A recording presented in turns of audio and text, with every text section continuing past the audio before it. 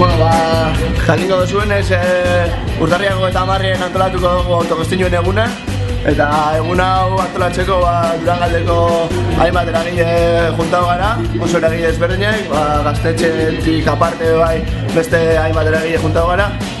Eta egun horretan e, gauza diferentik ingo dugu, lehenengo lan eztabaida batzuk eta aurre erungo dugu, gero e, taier diferentik eta ingo dugu, eta, eta bueno, bukaeran e, ahai giruen ero egongo gara ondo pasetako eta gure arteko harremanak eta sendotzeko.